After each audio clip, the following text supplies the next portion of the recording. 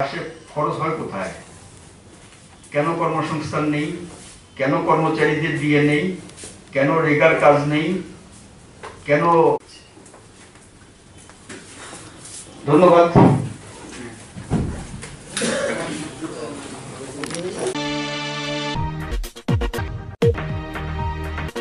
This is ABC News, AGT Live.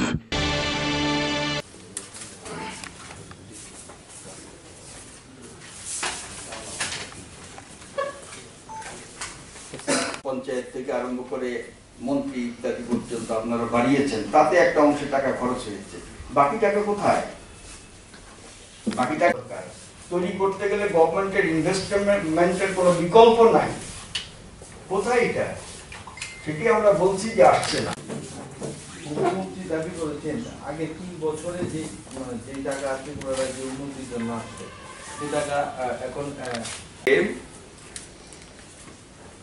আমরা গর্ব করি না। আর অনেক দূর এগোতে হবে। এই সরকার কোনো কাজ না করেই গর্ব বোধ করছে। লাঠালাঠি, মারামারি, ধর্ম নিয়ে অশান্তি, এগুলোর দিকেই নজর বেশি দিচ্ছে। আমরা অনুরোধ করব এই পথ থেকে ফিরে আসুন এবং মানুষের জন্য কাজ করুন, মানুষ আপনাদের ভোট দিয়েছে। প্রণোদয় হোক ডিজিটাল ক্যাম্পেইন করে হোক নানান প্রলোভন দেখিয়ে হোক, যেভাবেই হোক মানুষ ভোট দিয়েছে আপনাদের ভোট দিয়েছে, আপনারা কাজ করুন, নিশ্চিতভাবে আমরা সমর্থন করব। কিন্তু মানুষের যে সমস্যা, সেই সমস্যাগুলো গণতান্ত্রিক অধিকার রয়েছে আমাদের তুলে ধরার। সরকারের কাছে দাবি জানানোর, জনমত তৈরি করার, সংগ্রাম করার, লড়াই করার এই অধিকার আমরা ছাড়বো না, সেই অধিকার আমরা রক্ষা করার জন্যই লড়াই চালাচ্ছি। এই চারটা বিষয় এখানে আমি উপস্থিত করলাম। যদি কোনো কেন নেই? কেন আমার আরবান এরিয়াগুলোর মধ্যে টাকা পয়সা নেই? কাজের টুয়েপের কোনো কাজ নেই? কেন নেই? Academic counsellor student counsellor library assistant program assistant এবং হোস্টেল হোস্টেল ওয়ার্ডেন এই পাঁচটা ক্যাটাগরির পদ তৈরি করা হয়েছিল। এটা শুধু দশ হাজার তিনশো তেইশের প্রশ্ন না, অন্যরাও যাদের সুনির্দিষ্ট শর্ত যারা পালন করতে পারবে, তারা ইন্টারভিউ দিতে পারবে সিলেকশন হবে। আর নিশ্চিতভাবেই এটা বলতে কোনো দ্বিধা নেই, দশ হাজার তিনশো তেইশ এটা মাথার মধ্যে ছিল। এখন সরকার যখন উদ্যোগ নিল, আমাদের আগে যিনি তৃণমূলে ছিলেন, পরে বিজেপিতে ঢুকলেন, আগে কংগ্রেসে ছিলেন, তারপরে তৃণমূল, তারপরে বিজেপি। মন্ত্রী ছিলেন, এখন মন্ত্রী নেই। তার পৃষ্ঠপোষকতায় বা মদতে চরিলামের এক ভদ্রলোক মামলা করলেন। সেই মামলার রায় যে কীরকম কথা তোমরা সুপ্রিম কোর্ট তোমরা না করেছ এই চাকরিগুলো, হাইকোর্টের রায় আফেল করেছ। এখন দেখা যাচ্ছে পেছনের দরজা দিয়ে ঢোকানোর জন্যে দশ হাজার তিনশো তেইশকে বামফ্রন্ট সরকার এই পদগুলো তৈরি করেছে, এই পদগুলো পূরণ করার উদ্যোগ নিচ্ছে। এই মামলা করার পরিপ্রেক্ষিতে সিলেকশন হয়ে গেছে মেরিট লিস্ট হয়ে গেছে, শুধু অফার ছাড়ার ব্যাপার। আটকে গেল? বিচারাধীন। ইতিমধ্যে নির্বাচন চলে এলো, বিধানসভা নির্বাচন। স্বাভাবিকভাবেই এই পদগুলোতে লোক নেওয়া যায়নি। দশ হাজার তিনশো তেইশের লোকরা দাবি করছেন, মাস্টারমশাইরা। তারা বলছেন যে তুমি তো বলেছিলে, এখন দাও।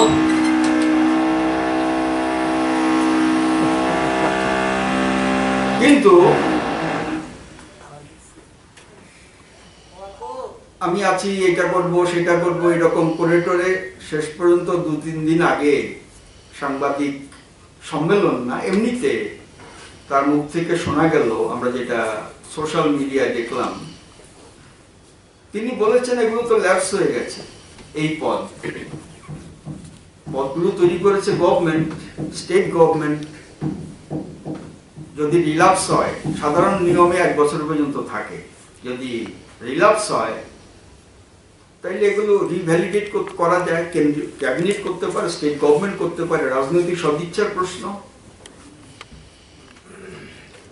সেই রাজনৈতিক সদিচ্ছা রতন বাবুর মুখ থেকে যেটা শুনলাম এটা যদি গভর্নমেন্টের বক্তব্য হয় এবং ন্যাচারালি আমরা ধরবো এটা গভর্নমেন্টের বক্তব্য যে তারা এই পোস্টগুলো এখন নাই এরকম ভাবে বোঝানোর চেষ্টা করছেন। আমরা বলব এটা প্রতারণা। রাজনৈতিক সদিচ্ছা থাকলে তাদেরকে অবিলম্বে তাদের যে পোস্টগুলো আছে, ক্যাবিনেটে নিয়ে সিদ্ধান্ত করে রিভ্যালিডেট করতে পারে রিনিউ করে নিতে পারে রিনিউ করে সেই জায়গায় এদেরকে অ্যাবজর্ব করতে পারে। এখন নির্বাচনের পরে কোর্ট রায় দিয়েছে যে না, এটা কন্টেম অফ কোর্ট না, এই বারো হাজার বা তেরো হাজারের যে প্রক্রিয়া, বারো হাজার।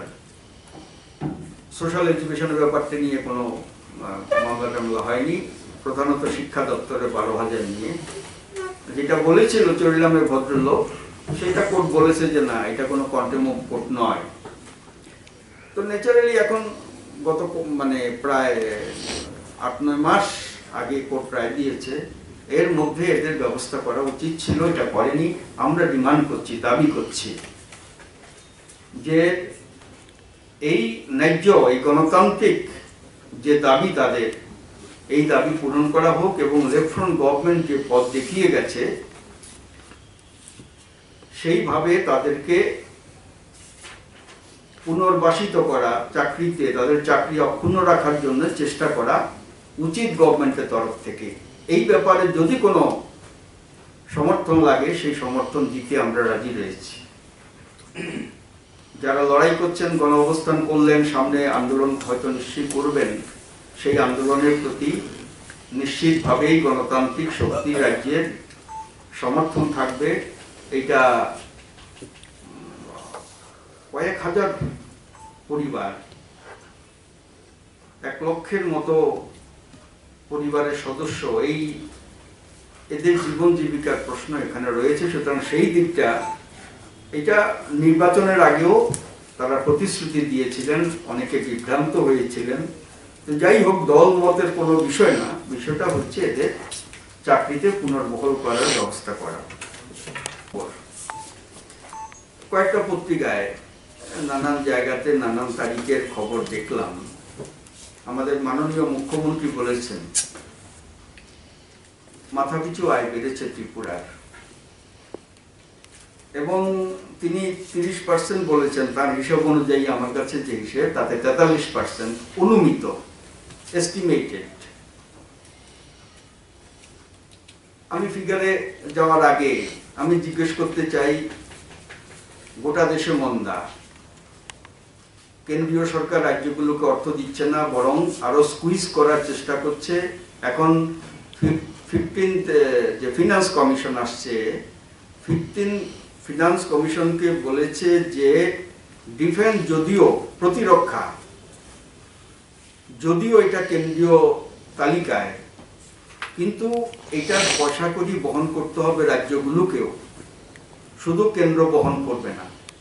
কোথায় যুদ্ধ করতে হবে, কোথায় কি কিনতে হবে, কার- কাছ থেকে কিনবো, কি শর্তে কিনবো, কে অফসেট পার্টনার হবে, সেগুলো কেন্দ্রীয় সরকার ঠিক করবে। কিন্তু রাজ্যগুলোকে এর অর্থ দিতে হবে। একেবারেই নন ফেডারেলিস্টিক আইডিয়া যুক্তরাষ্ট্রীয় ধ্যান ধারণের বিরোধী তো যাই হোক কেন্দ্রীয় সরকার নিজেরই অবস্থা খারাপ। জিএসটি আসছে না। বড় লোকদের মকুব করছে এগুলো তো আপনারা জানেন, যার ফলে কেন্দ্রীয় সরকার থেকে রাজ্যগুলোতে টাকা আসার যে ফ্লো সেই ফ্লো নাই। এখানে ওদের সরকার দিল্লিতে আছে বলে ওরা চিৎকার করে না, দাবি করে না। ওদের দাবি করা উচিত। এখন টাকা ফ্লো নাই। তাহলে কোথেকে টাকা আসলো? এই যে পার ক্যাপিটা ইনকাম বাড়লো কোথেকে আসলো? এদের আয় বেড়েছে রাজ্য সরকারের। কি আয় বেড়েছে? টোয়েন্টি সিক্স পার্সেন্ট আয় বেড়েছে বামফ্রন্ট সরকারের লাস্ট সময় থেকে। ছাব্বিশ শতাংশ কর বসিয়ে আয় মানে কি? ছাব্বিশ শতাংশ পার্চেজিং পাওয়ার কমিয়ে দেওয়া পাবলিকের সহজ রাস্তা। বড় লোকদের উপরে ট্যাক্সও পড়বে না, পড়বে পরোক্ষ কর সাধারণ মানুষের উপরে। একেবারে হাসপাতাল থেকে আরম্ভ করে শিক্ষা পর্যন্ত, পানীয় জল পর্যন্ত। ট্যাক্সও এখন তারপরেও আমি বিনীতভাবে একটা অঙ্ক এখানে দিতে চাই ফিগারটা সাতাত্তর আটাত্তর সাল বামফ্রন্ট সরকার হওয়ার জাস্ট ওই সময়টাতে কংগ্রেস সরকার এবং বামফ্রন্ট সরকার, প্রথম বামফ্রন্ট সরকার আসার সেই সময়টাতে মাথাপিছু বার্ষিক গড় আয় ছিল নয়শো টাকা।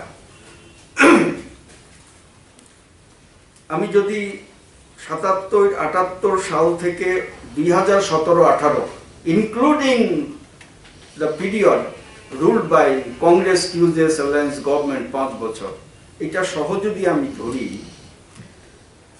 তাইলে নশো আঠাইশ থেকে দুই হাজার সতেরো আঠারোতে আমাদের মাথা পিছু রেকর্ডেড যে আয়, সেটা হয়েছে এক লক্ষ পাঁচ হাজার টাকা। মাথা পিছু বছরে আয়। এইটা বোঝেন যে এটা বড় লোক গরিব লোক সব মিলিয়ে টিলিয়ে করা হয় যা হিসেব। এখানে বিগ বাজারে যা সেল প্রকাশ কন্যার সেই সেল হয় না। তো ন্যাচারালি এখানে পার্থক্য থাকবে। তা সত্ত্বেও এটা একটা পদ্ধতি অর্থনীতির। সেই পদ্ধতি। তাতে কি দ্বারা সাতাত্তর, আটাত্তর সালে নশো আঠাইশ থেকে এক লক্ষ পাঁচ হাজার দুই হাজার সতেরো আঠারোতে মাথা পিছু আয়। এগারো হাজার দুইশো পনেরো শতাংশ বৃদ্ধি। এগারো হাজার দুইশো পনেরো শতাংশ বৃদ্ধি বামফ্রন্ট সরকার এবং পাঁচ বছর জোট রাজত্ব। জোট রাজত্ব তো কিছু হয়নি, সেগুলো ধ্বংস হয়েছে, তারপরে এগুলোকে আবার করে। যদি বামফ্রন্ট সরকারের পিরিয়ডটা যদি অ্যাভেলেবল যা রেকর্ডস আছে, তাতে যদি আমরা ধরি যে উনিশশো আটানব্বই সাল, আটানব্বই, নিরানব্বই থেকে দুই হাজার সতেরো আঠারো পর্যন্ত আটশো তিপ্পান্ন শতাংশ বৃদ্ধি হয়েছে মাথাপিছু বার্ষিক গড় আয়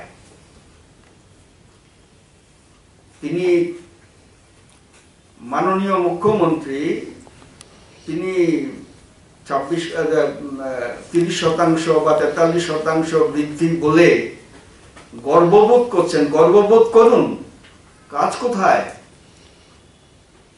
ইকোনমিক অ্যাক্টিভিটি কোথায়? পরিকাঠামোর ক্ষেত্রে কোনো টাকা খরচ করা হচ্ছে? মানুষের কাজের জন্য কোনো খরচ করা হচ্ছে? সংস্কারের জন্য কিছু করা হচ্ছে? গভর্নমেন্টের কোনো সোশ্যাল ক্ষেত্রে, সামাজিক ক্ষেত্রে কোনো ইনভেস্টমেন্ট আছে? শুধু মানে ওই ফাটকা ব্যবসা, ফাটকা কারবার, অনলাইনের জিনিস পৌঁছে দেওয়া, তারপরে ওই যুগ্ন।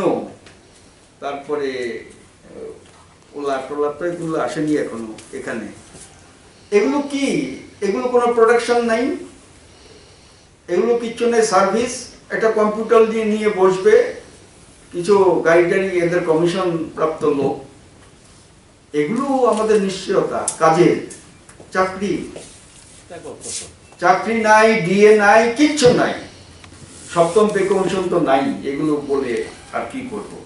ত্রিপুরা বামফ্রন্ট কমিটির তরফ থেকে চারটি বিষয়ে সংক্ষিপ্তভাবে আমি প্রতিক্রিয়া আপনাদের সামনে উপস্থিত করব। প্রথম যে বিষয়, সেটা হচ্ছে দিল্লিতে যা চলছে গত তিন দিন ধরে,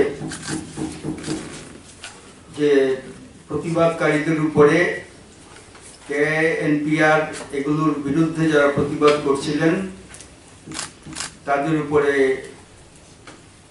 সংঘ পরিবারের লোকেরা আরএসএস এর লোকেরা, হিন্দুত্ববাদীরা, এরা পুলিশের মদত পুষ্ট হয়ে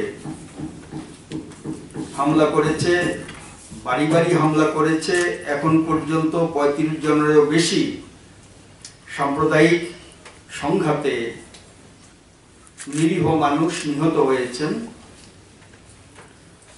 যারা নিহত হয়েছেন, এই সংখ্যা আরও বেশি। অনেকেই আহত অবস্থায় আছেন। বামফ্রন্ট কমিটির তরফ থেকে এই সাম্প্রদায়িক সংঘাতে, দাঙ্গাতে যারা নিহত হয়েছেন, তাদের স্মৃতির প্রতি শ্রদ্ধা জানাচ্ছি এবং হামলাকারীদের এই হামলার তীব্র নিন্দা করছি। এইটা গুজরাটকে দিল্লিতে নিয়ে আসা হয়েছে। ঘটনাটা এই এবং তাতে ট্রাম্প সাহেব গুজরাট দিয়ে ঢুকলেন ভারত সফরের জন্যে। তারপর দিন থেকেই ঘটনা শুরু হলো দিল্লিতে। এটা আমাদের গোটা দেশবাসীর কাছে একটা প্রচণ্ড লজ্জার এবং আরও বেশি লজ্জার সেটা হচ্ছে যে দিল্লি হাইকোর্ট বিচারপতি যিনি নির্দেশ দিলেন যে এই ঘটনার পেছনে যারা রয়েছে, বিশেষ করে একজন ক্যাবিনেট মন্ত্রী, তার যে বক্তৃতা, উত্তেজনা তৈরি করার জন্যে তাদের বিরুদ্ধে এফআইআর করা হোক, যারা আহত অবস্থায় আছে এখনও হাসপাতালে যেতে পারেনি, হাসপাতালে নেওয়ার ব্যবস্থা করা হোক দ্রুত ব্যবস্থা করা হোক। এই ভদ্রলোক বিচারপতি এস মুরলীধর তাকে রাতারাতি মধ্যরাত্রে অর্ডার করে প্রেসিডেন্সিয়াল অর্ডার রাষ্ট্রপতি সই করেছেন। অ্যাকচুয়ালি এটা ক্যাবিনেটের সিদ্ধান্ত।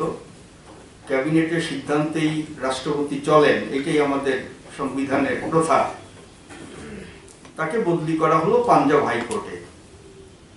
সুপ্রিম কোর্ট এর আগে কিছু পদক্ষেপ গ্রহণ করেছিলেন, কিন্তু দিল্লি হাইকোর্ট আরও কংক্রিট সুনির্দিষ্ট পদক্ষেপ গ্রহণ করেছিলেন। তাতে এই সরকারের যে উদ্দেশ্য, এই উদ্দেশ্য স্পষ্ট।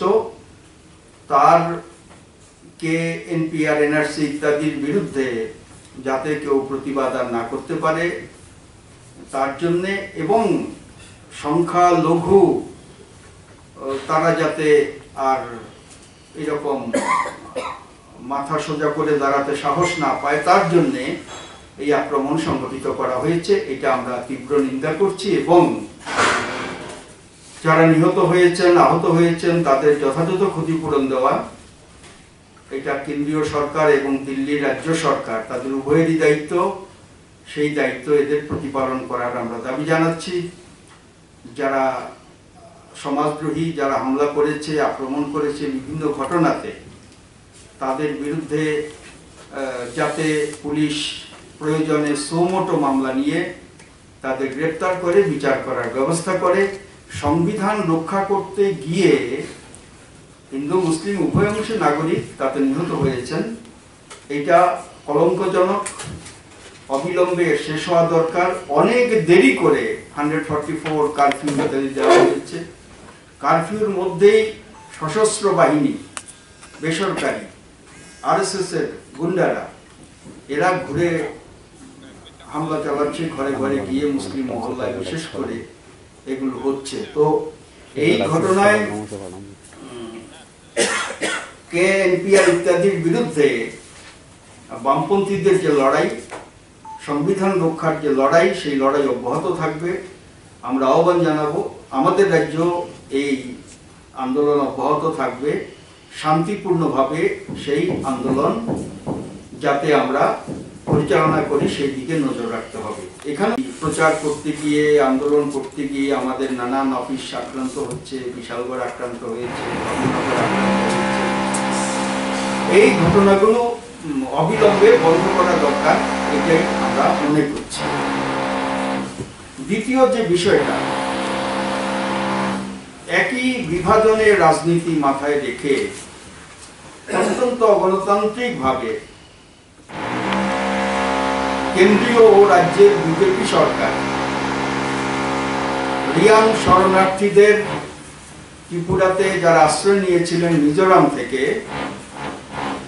তাদেরকে স্থায়ীভাবে ত্রিপুরাতে রাখার জন্য চুক্তি করেছেন, সিদ্ধান্ত করেছেন।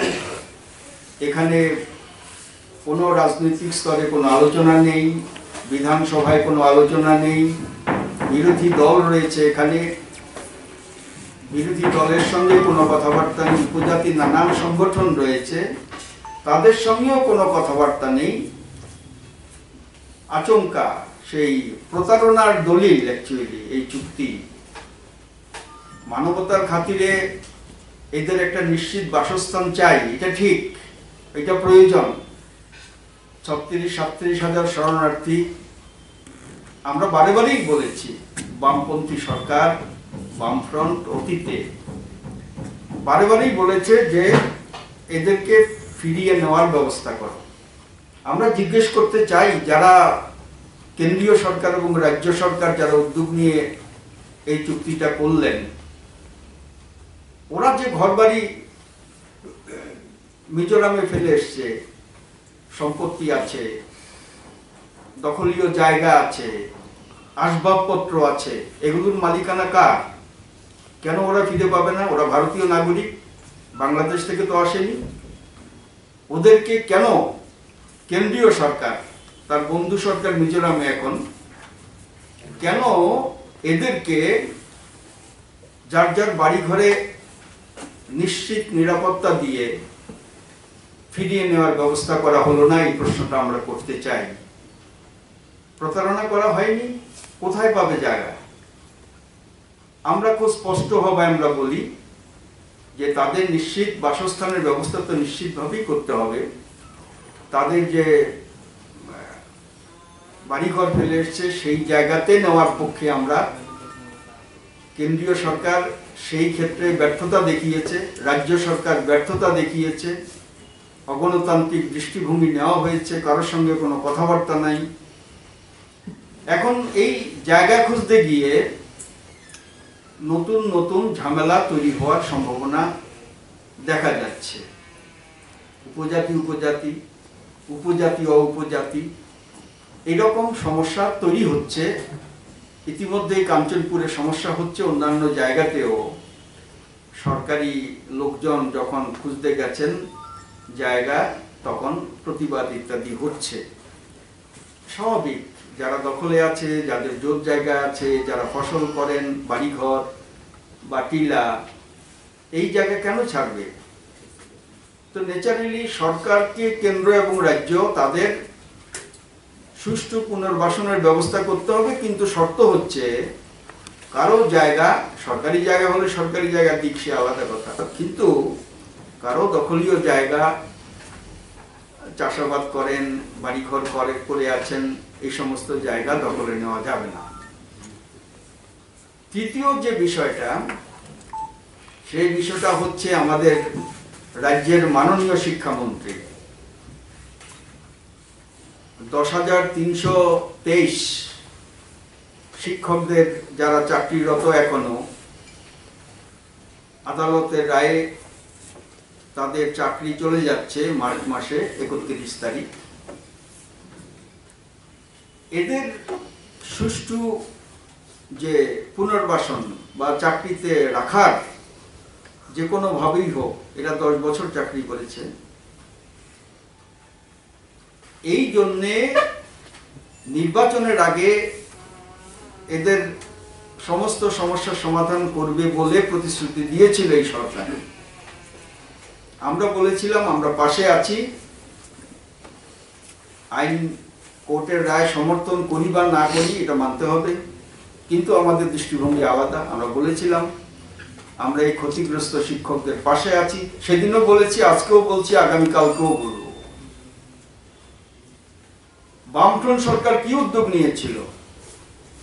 বামফ্রন্ট সরকার উদ্যোগ নিয়েছিল তেরো হাজার পোস্ট, স্কুল এডুকেশনে বারো হাজার, সোশ্যাল এডুকেশনে এক হাজার পদ সৃষ্টি করেছিল, যেগুলো অশিক্ষক পদ।